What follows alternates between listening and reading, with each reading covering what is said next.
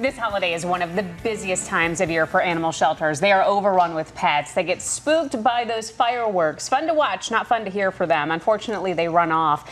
So the question is, how can you protect your four-legged loves? And what should you do if unfortunately you lose a pet or perhaps you uh, see a lost pet? We are joined by AHS spokesperson Kelsey Dickerson. You are an expert in this. This isn't your first rodeo.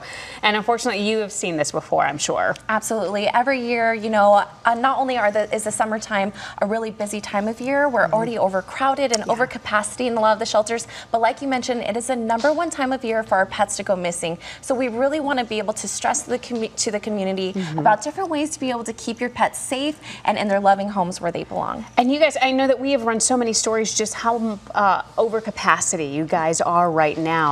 Is this there this fear of oh my goodness, how many dogs are going to come in and yes, pets? Absolutely. So we're so grateful. You know, we did just have a huge adoption special, mm -hmm. which is still going on. So zero dollar adoptions through July 7th. But we always brace ourselves, especially our, especially our animal assistance department, which really works to be able to help reunite pets when they do go missing. So first and foremost, we want to make sure pet owners out there have their pets with updated microchips mm. and tags. Mm -hmm. It is estimated that one in three pets will go missing in their lifetime. That microchip is the number one way to be able to get them back home.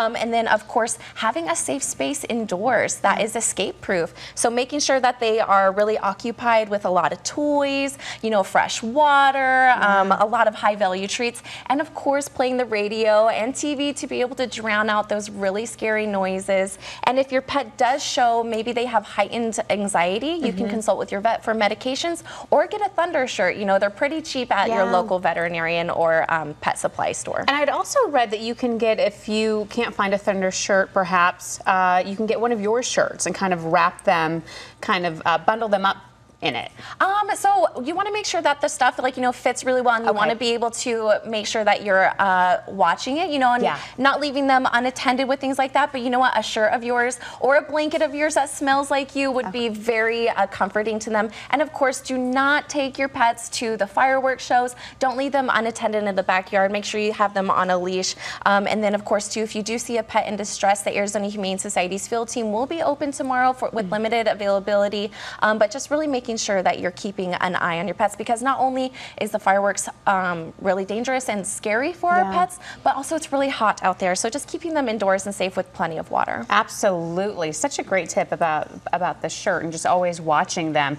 Uh, what would you say for people out there? Let's say they did everything right and unfortunately, their dog runs off or their cat runs off, something happens. Of course, you know, accidents do happen. We do see that a lot, even when we're trying our hardest to be able to keep them indoors and safe. You know, they are very crafty when they're scared and people yes, coming in and out of the door. So uh, the Arizona Humane Society's website at azhumane.org slash lost pet has a lot of great tips on be able, being able to help get them back home. Of course, checking your local shelters, your local veterinary clinics, posting mm -hmm. flyers, and also the power of social media is incredible. I've actually helped reunite a pet myself through social media. Um, so just making sure that you're taking them to, um, you're checking, you know, those local veterinarians. And if you do find a lost pet, yes. taking them to a local vet to see if they are microchipped, so that way you can get them back in their home. But of course, like I mentioned, azhumane.org slash lost pet. And then our animal assistance team will be open on Friday morning okay. if you are wanting to check for your pet. Perfect. Hopefully you won't have to. Yes. Hopefully you guys won't see an influx, but all great tips. Thank you so much Thank for that. Thank you.